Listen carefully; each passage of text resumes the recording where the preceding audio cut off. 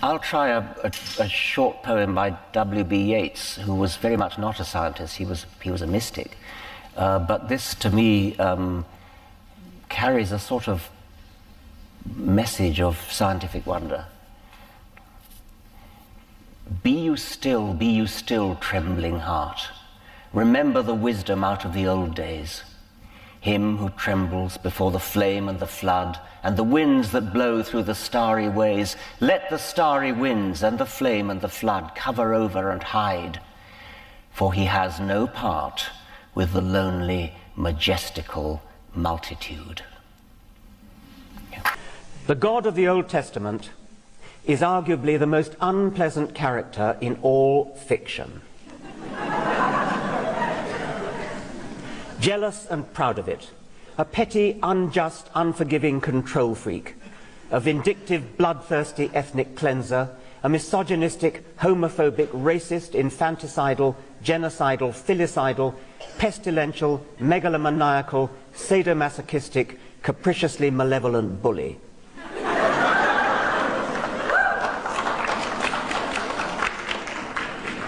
Those of us schooled from infancy in his ways can become desensitized to their horror. A naif, blessed with a perspective of innocence, has a clearer perception. Winston Churchill's son, Randolph, somehow contrived to remain ignorant of Scripture until Evelyn Waugh and a brother officer, in a vain attempt to keep Churchill quiet when they were posted together during the war, bet him he couldn't read the entire Bible in a fortnight. He has never read any of it before and is hideously excited. Keeps reading quotations aloud. I say, I bet you didn't know this came in the Bible. or merely slapping his side and chortling, God, isn't God a shit?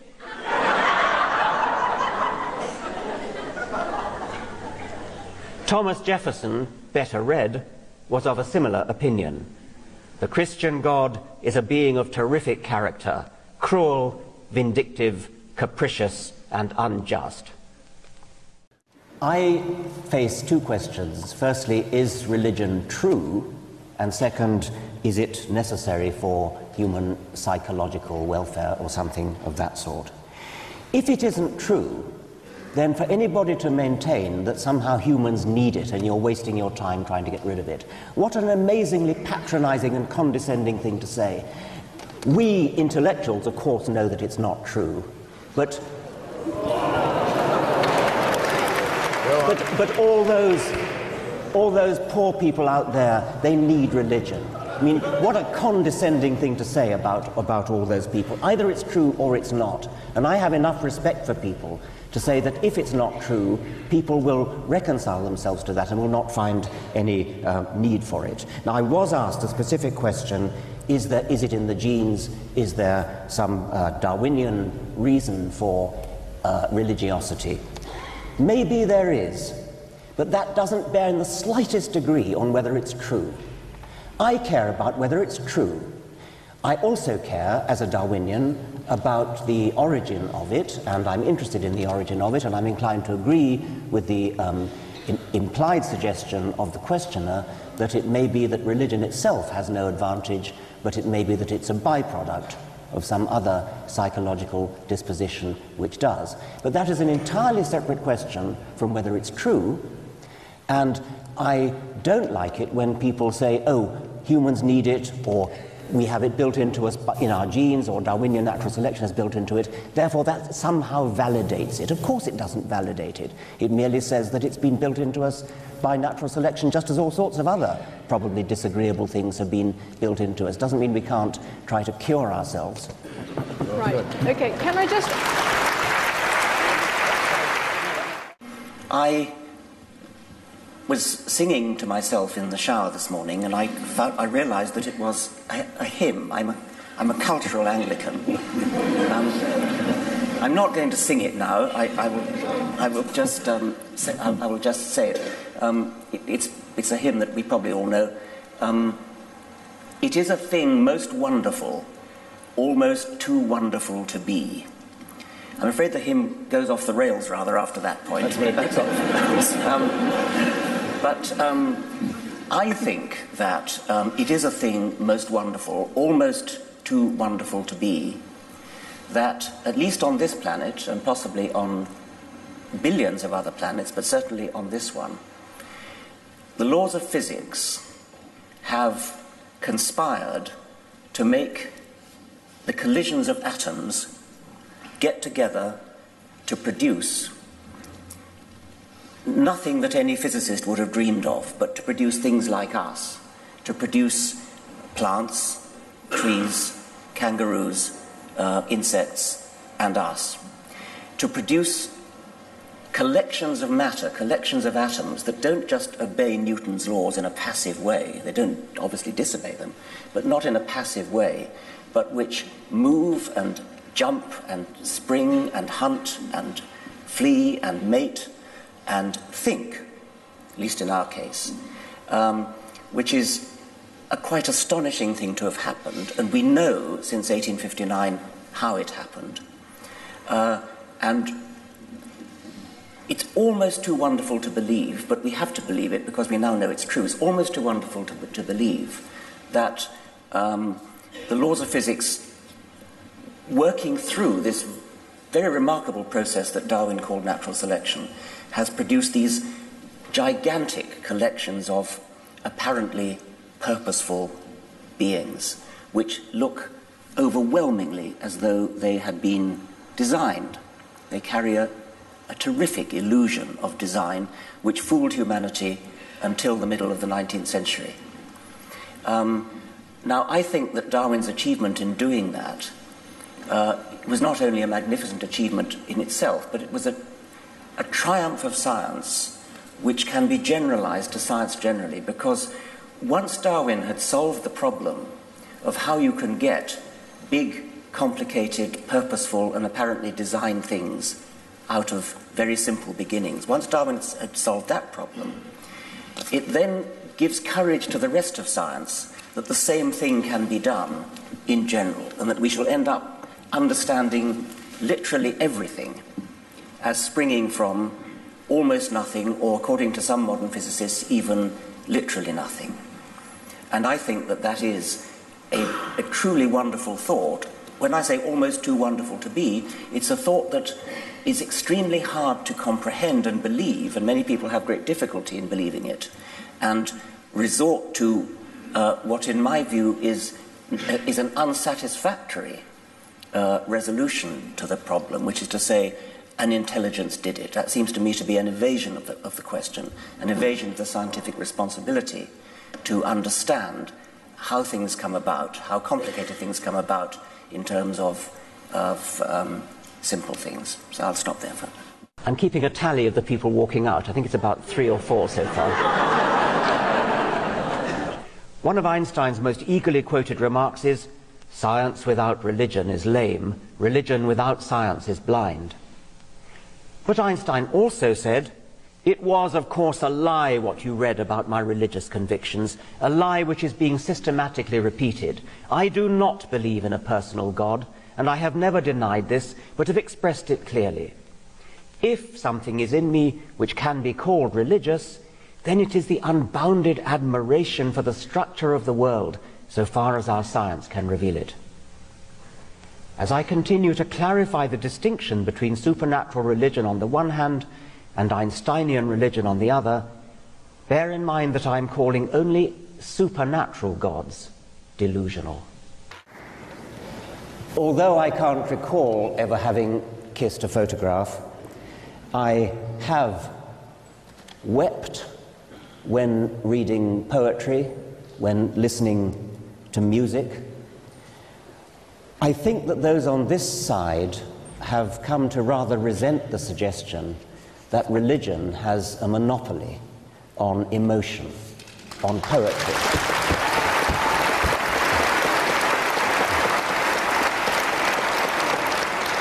on sympathy, on empathy. Everybody in this room, I dare say, has felt deep grief at the sight or the thought of a suffering individual somewhere in the world, maybe even of another species. That does seem to be something in humanity, to feel empathy with suffering. And as a Darwinian, I can offer explanations for that. I won't do it now because there isn't time.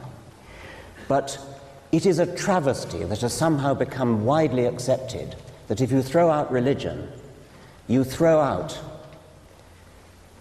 the Good Samaritan, you throw out weeping at a sonnet of Shakespeare or at a Schubert quartet. It has nothing whatever to do with religion in the sense of the supernatural. Of course, you can redefine religion as covering all these uh, emotional, artistic aspects. And in that case, of course, there's no contest. But I suggest that that's confusing and that we need to define religion as belief in something supernatural. You get your beliefs not from evidence, but from faith, from revelation, from tradition, from scripture, from authority. Now, all those are very bad reasons to believe anything. Evidence is the only reason to believe something. And that's the second point that I want to make in closing. Uh, but the first one, the, the main one I, I, want to make, is that uh, we are all in this together. We are all uh, capable of the same kinds of emotions. We're all capable of wanting to free the slaves and all the things, all the good things that have been talked about, whether we're religious or not. Uh, you cannot give religion the credit for any of those things. They are a part of humanity. The good things are part of humanity, just as the bad things are part of humanity, whether you are religious or not. Um, we are incredibly social animals, as I said before. And, and when somebody does you a good turn, it's important to be grateful. You, it's important to pay back the favor and to express your gratitude. And that, I suggest, might generalize the psychological predisp- predisposition to feel grateful when something good happens to you, might generalize from feeling grateful when a person does something good for you and when the weather does, say, uh, when um, a, when, a, when an accident happens, when there's an earthquake and your child doesn't die, you feel grateful. And you feel the need to, to be grateful to something or somebody. And, that, and you can't feel grateful to other people because they're not responsible for the weather. So you, so you conjure up a fictitious person to feel uh, grateful to. And that's a special case, really, of the idea that it's good survival practice to suspect agents in nature. A lot of what happens in nature doesn't have an agent deliberately causing it. A lot of it is the weather, a lot of it is the wind, um, a lot of it is just plain accidents that, that happen. But when there are agents around, and where those agents might be lions or leopards or crocodiles who might be lurking in wait for you, or might be stalking you, then it's important for your survival to attribute agency to things. And that may generalize even to places where there's no agency. And I've often used the example of uh, a rustling in the long grass, which could be the wind, is actually most likely to be the wind, but which could be a lion. And although the odds are that it's the wind, uh, your best bet is probably to assume that it's a lion, because if you get the bet wrong, um, it, it, if, if, you bet on it being the wind and your bet is wrong, that, then that, that's, that's rather tragic. Um, so um, there may be a psychological predisposition to in, invent agencies, invent agents where there aren't any. And this then, this same psychological predisposition generalizes itself to wind gods and thunder gods and, and lightning gods and river gods and, and, and sea gods and things like that, which then become merged later on in cultural evolution into the gods, into the named gods like Thor and Zeus and Apollo and Yahweh. The following offences merit the death penalty according to Leviticus 20 cursing your parents, committing adultery, making love to your stepmother or your daughter in law, homosexuality, marrying a woman and her daughter, bestiality, and to add injury to insult, the unfortunate beast is to be killed too.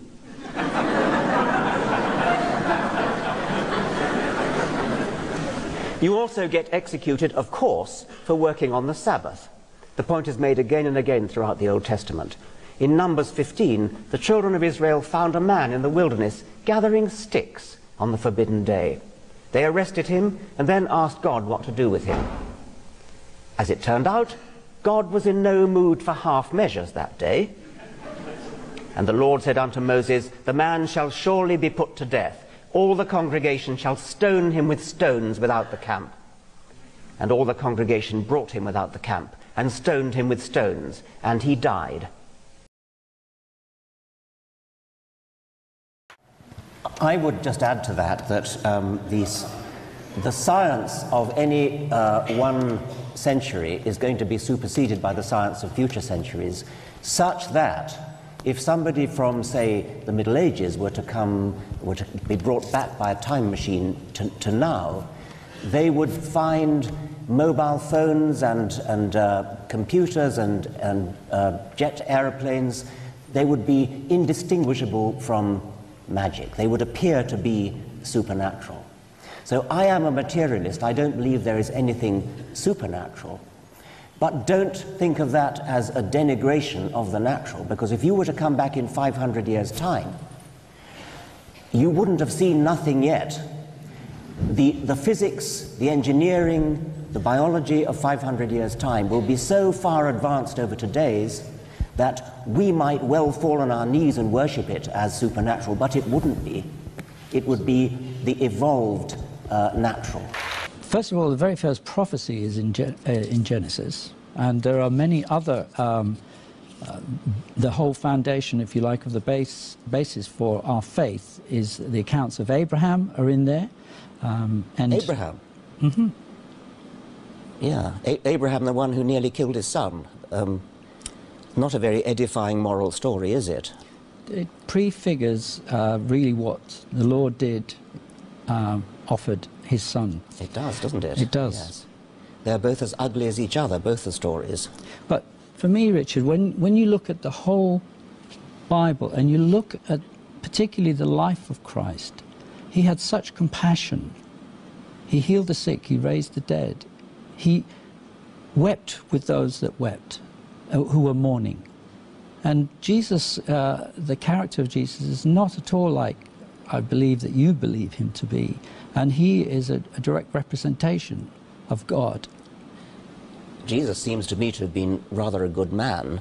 Um, the story that he gave his life for our sins uh, is a story that was made up later.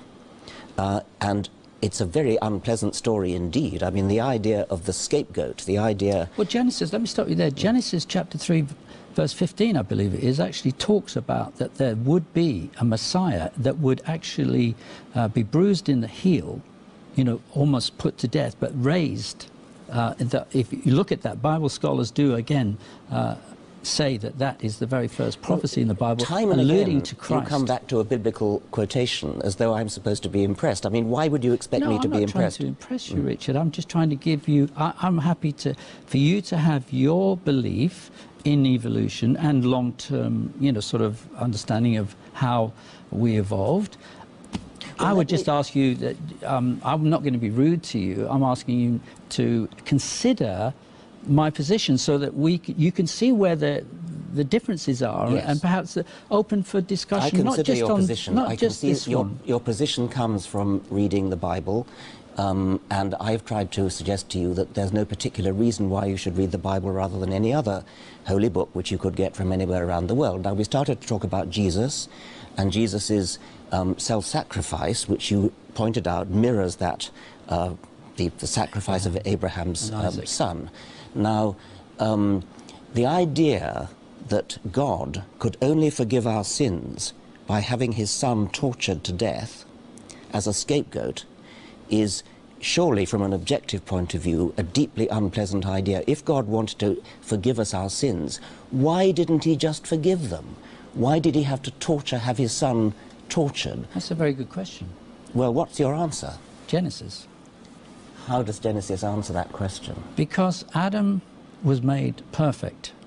And what happened through his disobedience, if you like, simple uh, test, and he lost that perfection for us for us all as a human race, according to Scripture. And the need for a Messiah or uh, another perfect being of the same degree of perfection uh, could only be the proper ransom for our redemption. God was in a position to accept any ransom he chose, presumably. Why on earth would he have his son tortured for the sin of somebody who lived how long before? For, for 4,000 years before, if you believe that Adam did? Because Adam scrumped an apple. Why would that sin reverberate down the ages and have to be uh, redeemed by the torturing of God's own son? Why didn't God say, I forgive you, I forgive you? It, I, it's in my part of it. No, what he said was, my son has to be tortured to death, no. just like mm. Abraham. Any creative intelligence of sufficient complexity to design anything comes into existence only as the end product of an extended process of gradual evolution. Creative intelligences being evolved necessarily arrive late in the universe and therefore cannot be responsible for designing it. God in the sense defined, is a delusion. The, the measure of the, fact, the factuality of uh, evolution is the same as in any other science. Um, some of the things that scientists have found are found with great confidence. Scientists are always open to uh, the possibility of being proved wrong at some point in the future, but there are some things that seem, at, at any one stage in history, far better demonstrated than others. Um, the fact of evolution is about as well demonstrated as anything we know. It is absolutely certain by the normal standards, the same kind of standards as we are certain that um, the Earth rotates and, and the Sun doesn't go around the Earth. Um, that formally we have to say, well, that, that's a hypothesis that might one day be disproved, but we all know that it won't be.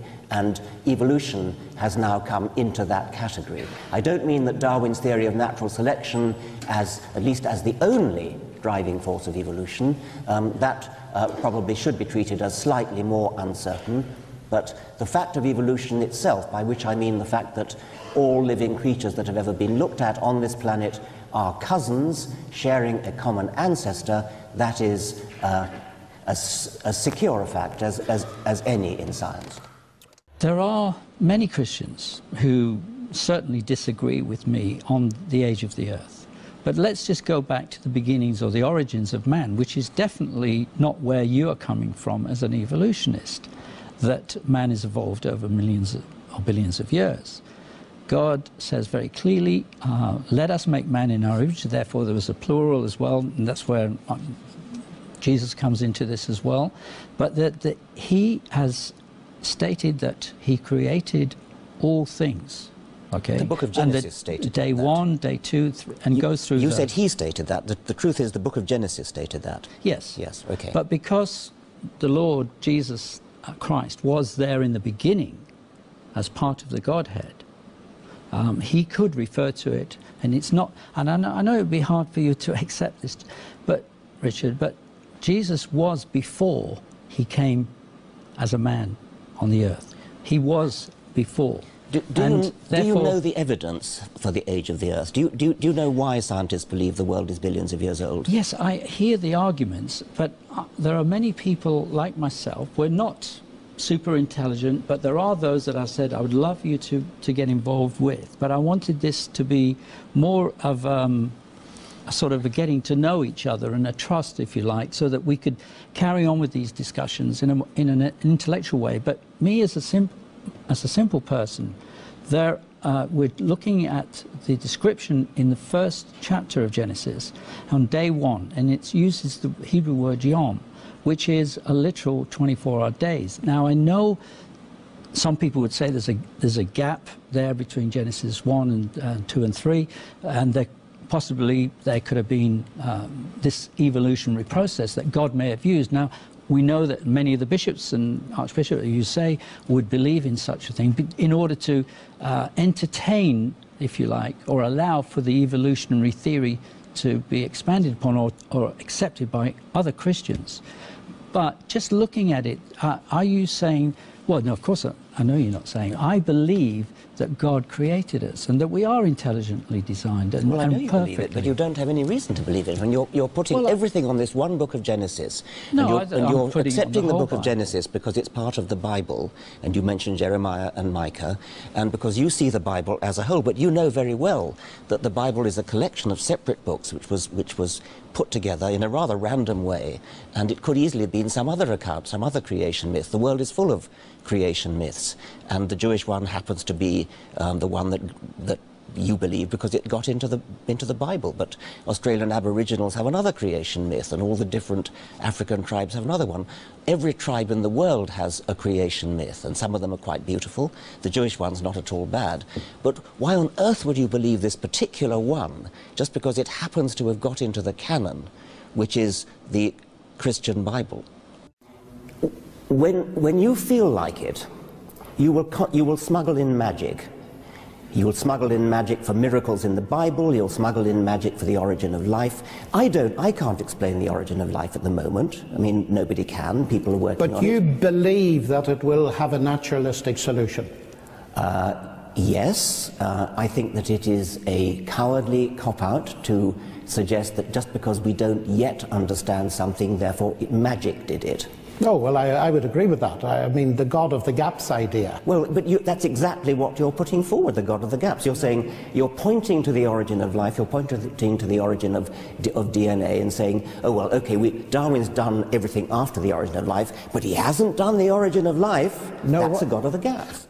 I do not believe that religion is the root of all evil. Thank you, Channel 4. Religion is the root of quite a lot of evil, but that didn't make for a very catchy title. I just want to briefly reply to Dr. Spivey a couple of points. He says we're fighting a losing battle because uh, religion is a part of our human nature. Well, speak for yourself. It's not a part of mine, and it's not a part of the great majority of my friends in universities uh, in England and the United States and elsewhere. He also said, if we had no religion, how would we do without King's College Chapel, the Sistine Chapel, etc.? Well, you know, artists have to make a living, and in the time when the Sistine Chapel was built and its ceiling was painted, you know who had the money. Artists such as Michelangelo had to go where the patronage was. We shall never know the ceiling that Michelangelo might have painted if he had been commissioned to paint um, the Museum of Science, for example. We shall never know what Haydn's evolution oratorio might have sounded like, or Beethoven's Mesozoic Symphony. Here we have this phenomenally sophisticated information processor, which is the cell. Am I really to believe that that information processing capacity simply came about by the laws of nature and random processes Yes. without a mind? Yes. Well, I find that impossible to believe I know as a you mathematician. do. I know you do. Um, this is called the argument from personal incredulity. a quote from Kurt Wise, who is an American geologist. He studied geology at Harvard, no less, under Stephen Jay Gould, no less. And he was set for a, a good career as an academic geologist, which all his life he had desperately wanted. The problem was, it came from within, it was his religious upbringing, his firewall of faith. And he couldn't reconcile the two, his scientific education with his religion. And he literally got a pair of scissors and went right through the Bible and cut out every verse that would have to go if he accepted his scientific education. And in, in the end, he decided there was nothing left of his Bible. He therefore tossed out science and said, and from then on, he said, um, With that in great sorrow, I tossed into the fire all my dreams and hopes in science. And he goes on, I am a young age creationist because that is my understanding of the scripture. As I shared with my professors years ago when I was in college, if all the evidence in the universe turns against creationism, I would be the first to admit it, but I would still be a creationist because that is what the Word of God seems to indicate. Here I must stand. If religion can do that to a highly educated Harvard geologist, just think what it can do to an average school child or student. Thank you. Now, in the case of the cosmos, freak accident or design, the point that I've made over and over again is that even if we don't understand how it came about, it's not helpful to postulate a creator because the creator is the very kind of thing that needs an explanation. And although it's difficult enough to explain how a very simple origin of the universe came into being, how matter and energy, how one or two physical constants came into existence. Although it's difficult enough to think how simplicity came into existence, it's a hell of a lot harder to think how something as complicated as a god comes into existence, difficult enough to think of how a deist God comes into existence, and even more difficult to think of how a Christian God who actually cares about things like sin and gets himself born of a virgin. It is true that uh, Christianity has adopted many of the best values of, huma of, humanity, but they don't belong to Christianity or indeed to any other religion. I think it would be very sad if it were true that you really did need religion in order to be good. Because if you think about it, what that would mean would be either that you get your morals and your values from the Bible or the Quran or some other holy book, or that you are good only because you're frightened of God, because you don't want to go to hell or you do want to go to heaven. Now, as for getting your morals from the Bible, I very sincerely hope nobody does get their morals from the Bible. It's true that you can find the occasional good verse, and the Sermon on the Mount would be, would be one example, but it's lost amid the awful things that are dotted throughout the Old Testament and actually throughout the New Testament as well, because the, the idea, the fundamental idea of New Testament Christianity, which is that Jesus is the Son of God who is redeeming humanity from original sin, the idea that we are born in sin. And the only way we can be redeemed from sin is through the death of Jesus. I mean, that's a horrible idea. It's a horrible idea that God, this paragon of wisdom and uh, uh, knowledge, power, couldn't think of a better way to forgive us our sins than to come down to earth in his alter ego as his son and have himself hideously tortured and executed so that he could forgive himself. Yes, you've exactly. Suddenly, but you've suddenly leapt from uh, sophisticated discussions of the origin of the universe, where one can have a proper discussion about whether um, some sort of cosmic intelligence could have set forth the laws of physics. And you suddenly jump to a man who lived 2,000 years ago, was born of a virgin, rose again from the dead. Uh, well, I only did that I, because you mentioned it well, first I at the beginning. Well, I think that's petty. I think that's petty uh, by comparison with the grandeur of the universe. I mean, to, to, put my point again, do you really think that the, the creator of this magnificent edifice of the universe, these, the expanding universe, the galaxies, that he really couldn't think of a better way to get rid of the sins on this one little speck of dust than to have himself tortured? He's the one who's doing the forgiving after all. Couldn't he just have forgiven? I, as an atheist, my friends as, an, as atheists, lead thoroughly worthwhile lives, in our opinion, because we stand up, look the world in the face, face up to the fact that we are not going to last forever. We have to make the most of the short time that we have on this planet. We have to make this planet as good as we possibly can and try to leave it a better place than we found it. Now, to some degree, you've already answered this, but there is a follow-up question. I'm going to go to that now. It's from Rebecca Ray. Okay, my question for you today is without religion, where is the basis of our values? And in time, will we uh, perhaps revert back to Darwin's idea of survival of the fittest? Richard Dawkins, you can answer that and I'll bring in Cardinal Pell. I very much hope that we don't revert to the idea of survival of the fittest in planning our politics and our values and our way of life. I've often said that I'm a passionate Darwinian when it comes to explaining why we exist. It's undoubtedly the reason why we're here and why all living things are here. But to live our lives in a Darwinian way, to make up, to make a society a Darwinian society, that would be a very unpleasant sort of society in which to live. It would be a sort of Thatcherite uh, society. Um, and we want to, I mean, in a way, I feel that one of the reasons for learning about Darwinian evolution is as an object lesson in how not to uh, set up our values and our, and our social lives. Deism is, is, as you know, the, the, the, belief that no particular personal God, but just some kind of creative intelligence which set the whole clockwork running, set the universe going, and then retired and did nothing more. So doesn't forgive sins, doesn't listen to prayers, doesn't know what we think, has no interest in human affairs, just started the laws of physics going. That's deism. Um, theism is belief in some kind of personal God um, such as the Christian God, the, the Muslim God, um, the, the, the, gods of Valhalla, the gods right, of Olympia, right. and so on.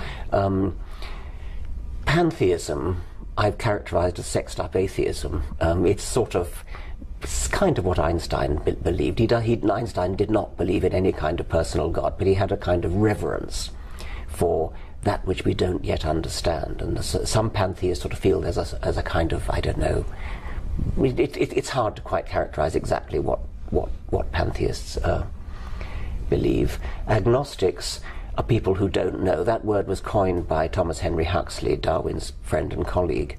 Um, some people confuse agnosticism with thinking there's a kind of 50 50 toss up whether there's a God or not. Um, and there's really no reason to, to plump for 50 50 um, in a sense, we're all agnostic because we can never actually disprove. We can't disprove leprechauns and, and, and pixies. Um, we have to be agnostic about them. But for all practical purposes, we are a leprechaunists and a pixieists and a fairyists.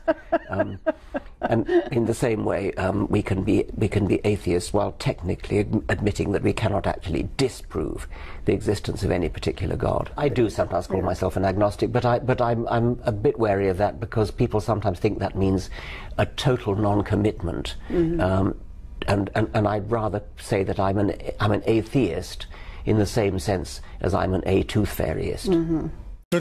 I don't think it's a very important question uh, whether Jesus existed. There are some historians, most historians think he did, some They certainly don't. do. I couldn't um, find an ancient historian that didn't. Uh, well, there are one or two, but I don't really care, actually, because it, uh, precisely because it's petty. I mean, I cannot, I mean, if you could, you could possibly persuade me that there was some kind of creative force in the universe, there was some kind of uh, physical, mathematical genius who, who created everything the expanding universe, devised quantum theory, relativity, and all that. You could possibly persuade me of that. But that is radically and fundamentally incompatible with the sort of God who cares about sin, the sort of God who cares about what, what you do with your genitals, the sort of God who, who, who is interested, who has the slightest interest in your private thoughts uh, and wickednesses and things like that. Surely you can see that a God who's grand enough to make the universe is not going to give a tuppenny cuss about what, what, what you're thinking about and, and your sins and things like that. So you think that morality is not important? Of course I don't think morality is not important. I'm well, a human it being. sounds like you're saying no, I'm a. I'm a human being and I live in a society of human beings and within a society of human beings morality is of course important. But we are one of billions of planets on a huge scale. And a cosmic God who bothers about this kind of human scale is not the kind of God that is, is, that is compatible with a scientific view of the universe. It's a medieval view.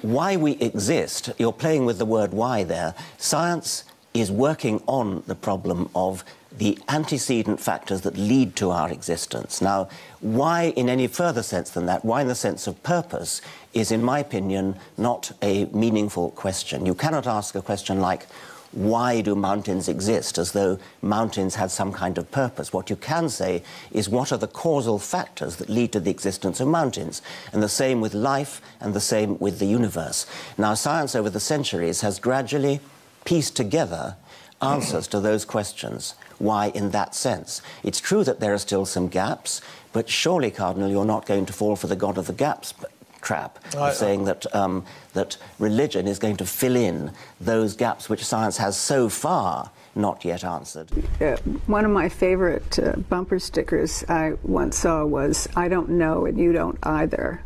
Well, I don't know and you don't either. I thoroughly approve of that, mm-hmm. especially if when I say you don't either, you're a religious person, because yeah.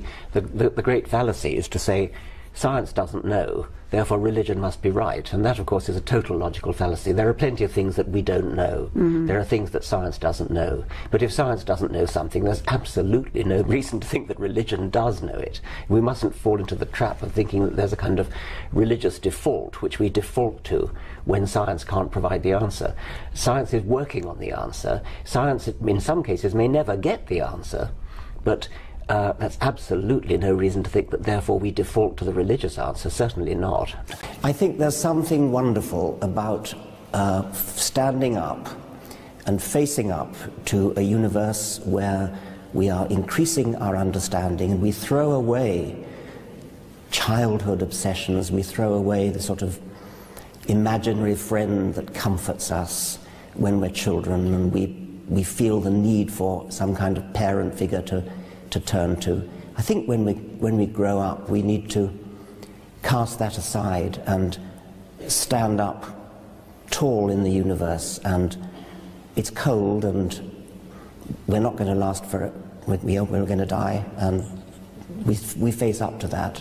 And I think that's a nobler way of getting through life than to pin your hopes on childhood illusions the question why is not necessarily a question that deserves to be answered. There are all sorts of questions that people can ask, like, what is the colour of jealousy? That's a silly question. Exactly. Why is a silly question?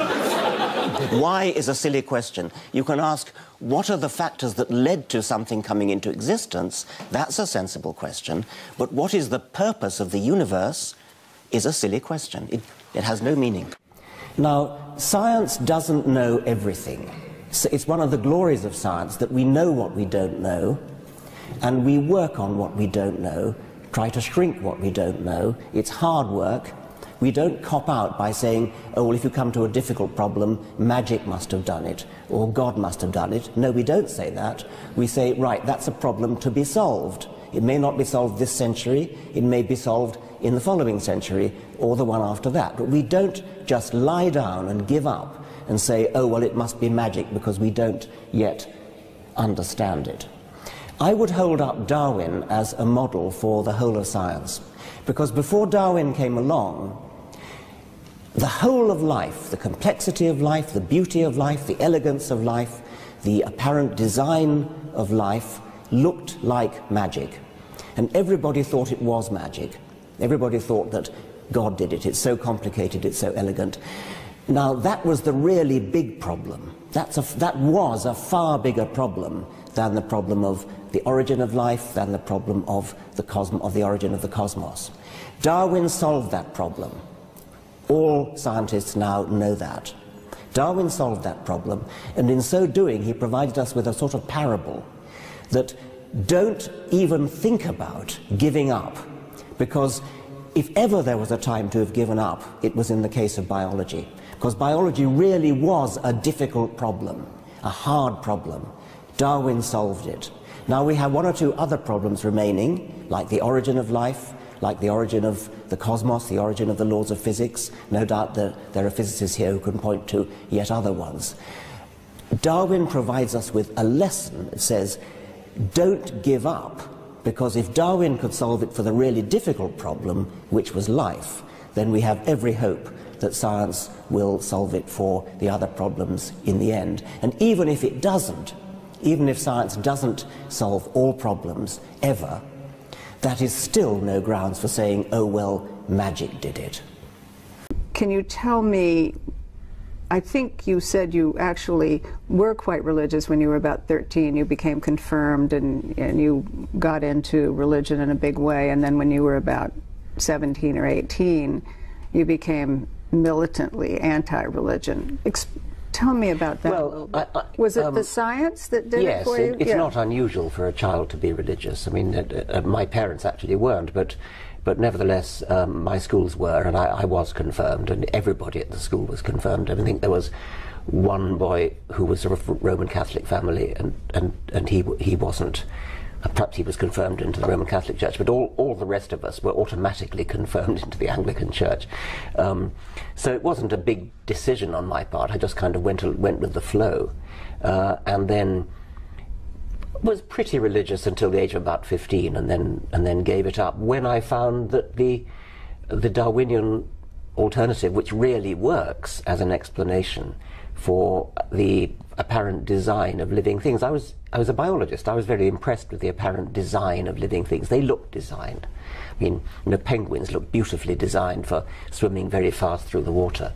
Uh, they're not designed. They've evolved by natural selection and it took me until I was about 16 to really understand that properly. And then I gave up all semblance of religion. In the God delusion, I made a seven point scale. One is I'm totally confident there is a God. Seven is I'm totally confident there is not a God. Um, six is to all intents and purposes, I'm an atheist. I live my life as though there is no God. But any scientist of any sense will not say that they positively can disprove the existence of anything. Um, I cannot disprove the existence of the Easter Bunny, and so I'm agnostic about the Easter Bunny. It's in the same respect that I'm agnostic about about God. We new atheists are said to be no better than the Muslim extremists who hijack planes and fly them into buildings, or than the fundamentalist Christians who blow up abortion clinics. When was the last time you read of anybody who blew up anything in the name of atheism? Not blew something up and happened to be an atheist, blew something up in the name of atheism. The 19 hijackers of 9 11 did what they did in the name of their religion. They honestly and sincerely believed they were behaving in a good and righteous fashion. They believed they were doing what their God wanted them to do. They believed that they were going to a martyr's reward. They believed it because it followed logically from what they had been taught in their faith schools. Atheism doesn't have any faith schools. If we did, by the way, we wouldn't teach them atheism, we'd teach them critical thinking and how to make up their own minds. I have experienced plenty of things which could be called transcendental. I've experienced the feeling of almost mystical wonder that I get when I look up at the stars, look up at the Milky Way, uh, contemplate the galaxies receding from us, listen to a Schubert quintet, uh, read a sonnet of Shakespeare.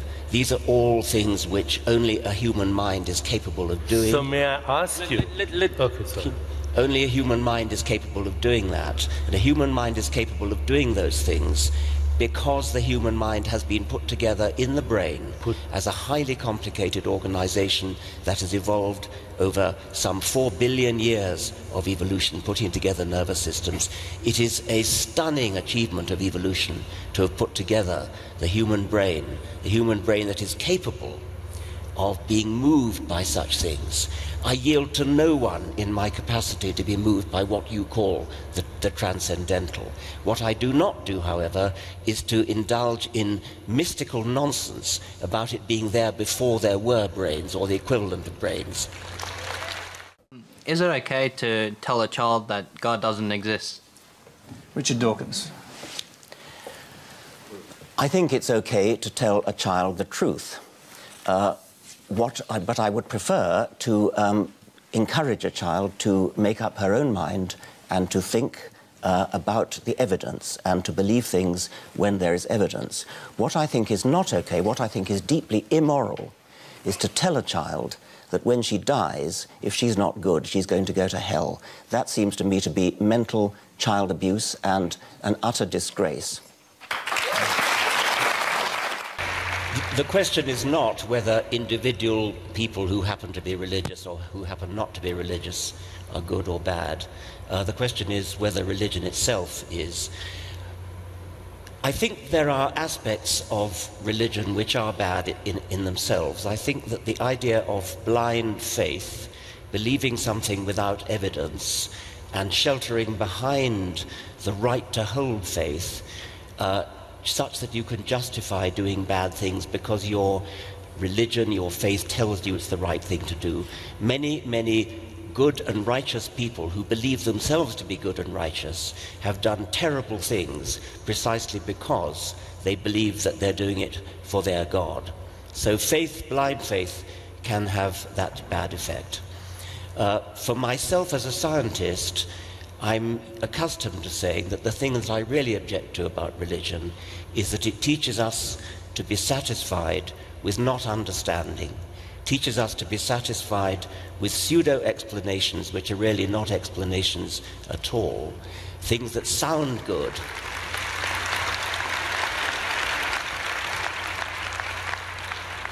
Things that sound like an explanation but which really aren't, which appeal to the emotions but don't actually explain anything. So I think that religion in that sense can be the enemy of science, the enemy of truth.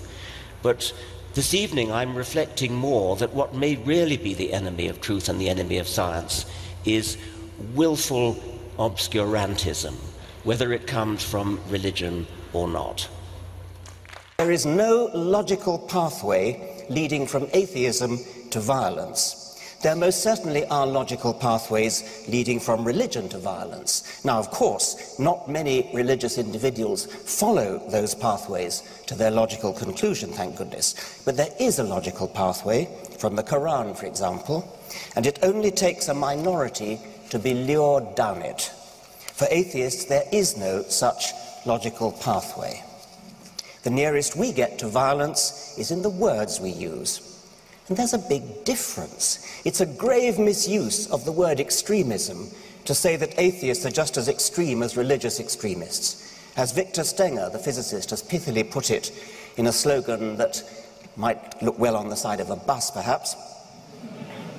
Science flies you to the moon, religion flies you into buildings.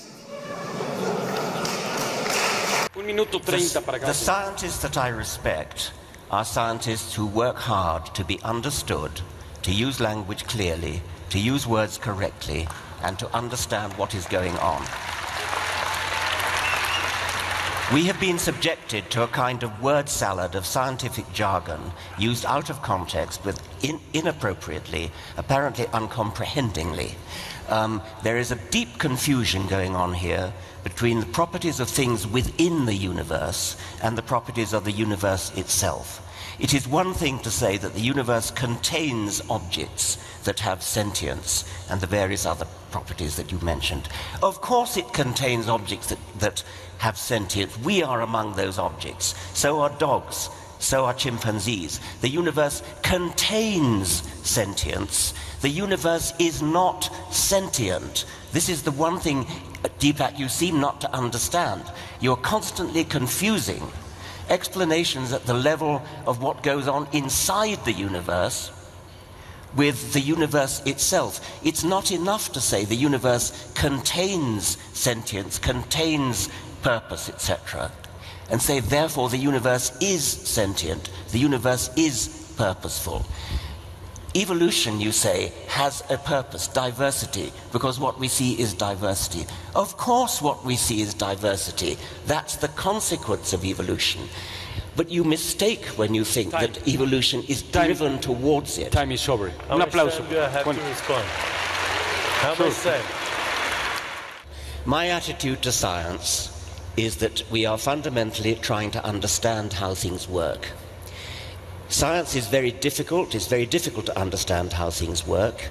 The hard problem of consciousness has been mentioned, the problem of the origin of the universe, the problem of the origin of life, the problem of how life has this uncanny appearance of, of being designed, the size of the universe, the scale of the universe, uh, how embryology works. These are all deeply difficult questions. They require hard scientific work. And in all cases, I think I'm right in saying that scientific work consists of explaining complicated things in terms of the interactions of their parts or of simpler things. So we always try to explain complex things in terms of simpler things. We do not resort to magical language. We do not snow our audience with highfalutin sounding words that don't actually mean anything. We use words that actually have meaning. We use uh, expressions that can be tested. We work hard at understanding the universe in terms of its component parts. We don't invent superarching entities which have no explanation in themselves. We don't invoke ideas like the universe has consciousness, the universe has awareness, atoms have awareness. If we have a difficult problem like awareness, we explain it in terms of the interactions between small parts working together in ways that scientists understand. If Freeman Dyson ever said atoms are aware, then he's wrong. I don't think he said it. I think he should sue you. Wow. Nevertheless, atheists such as me have been accused of using the language of extremism. We are strident, shrill, intolerant, aggressive, arrogant. We worship the mind rather than the soul, rather than the heart, rather than the gut, perhaps one might say, to parody Charles Moore. And we are accused of giving offence. Well, I think a great deal of this stems simply from the fact that religion has for so long been feather bedded our whole society, the non religious as well as religious portions of it, has bought into the fiction that it's somehow bad manners to criticize religion. Douglas Adams put it beautifully in an impromptu speech in Cambridge in 1998. Religion has certain ideas at the heart of it which we call sacred or holy or whatever. What it means is here is an idea or a notion that you're not allowed to say anything bad about. You're just not. Why not? Because you're not. Why should it be that it's perfectly legitimate to support the Labour Party or the Conservative Party, Republicans or Democrats, this model of economics versus that, Macintosh instead of Windows? But to have an opinion about how the universe began, about who created the universe, no, that's holy. We're used to not challenging religious ideas. But it's very interesting how much of a furore Richard creates when he does it. Everybody gets absolutely frantic about it because you're not allowed to say these things. So when somebody like me says something even mildly critical of religion, it is heard as strident and aggressive, even if it's actually less so than would be perfectly acceptable if it were anything other than religion that was being criticized. There's nothing really new about the so-called new atheists. Nothing new in what we say. The only thing new about us is that we speak up and we call a spade a spade. This is not fundamentalism, it's just honest clarity of expression. We use our brains rather than our gut. New atheism speaks clearly. This used not to happen. Atheists were supposed to know their place, to shut up and respect automatically religious faith. I love a quotation from Johann Hari who said, I respect you too much to respect your ridiculous ideas. So entrenched is the assumption, implicitly accepted for centuries by religious and non religious alike, that religion must automatically be respected, that even clarity is heard as offensive.